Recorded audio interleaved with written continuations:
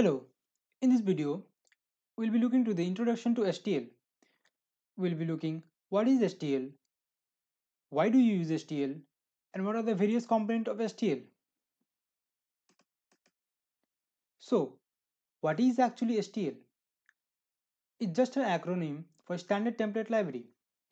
It is a powerful set of C++ template classes and these classes are actually written by some experienced programmer out there and they have just made a library out of it and contributed to the C++ community. And we as a programmer just import that library and use it in our program as we like. C++ STL is divided into three well-structured components algorithms, containers, iterators. We'll be discussing them one by one. Before moving further, let us see why should you use STL? The first reason, you don't need to write extra code and waste your time. For example, some searching or sorting algorithm are already implemented in STL. You just need to import it and use it in your program. Secondly, STL is widely used in the world of competitive programming and really helps in interview round problems. Believe me, once you start using STL, you'll barely writing any program that is without STL. Each and every program you'll be writing mostly consisting of STL containers and features of STL. So, what are containers? Containers are actually something that stores your actual data. As in case of shipments, they use container to store products and material and transfer it to another country or places. Similarly, in case of STL, you use container to store data. Containers are always generic, so they can hold any kind of data type, be it integer, be it float, be it string, be it any kind of data type. Containers can widely divided into two types, namely sequence and associative. In sequence, the data are stored in the sequence manner, whereas in associative, the data are stored in the kind of key value pairs actually.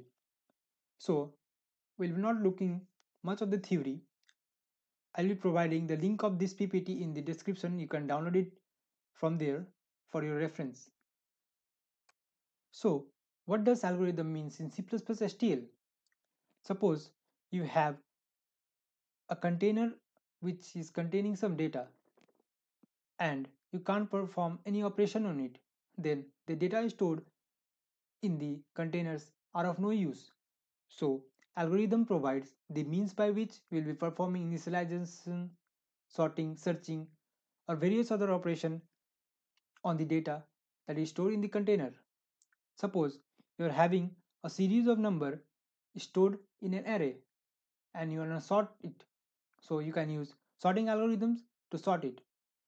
C++ STL provides sort function for sorting arrays or list or various kind of data stored in the containers.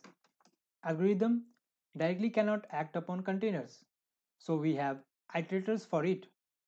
As the name suggests, iterators, it just iterates through the elements of the container and perform certain operation. Iterator is basically the bridge between the algorithms and containers nothing more. Oof, enough of the theory. So let me sum it up for you. We have the major problem data is here.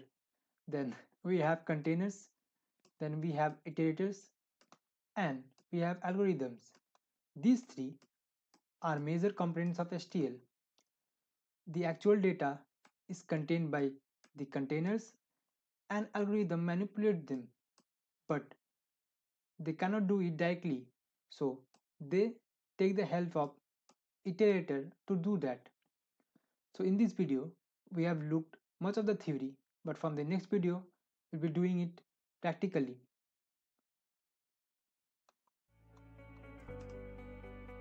So thank you for watching this video. See you in the next video. Do like the video if you like the content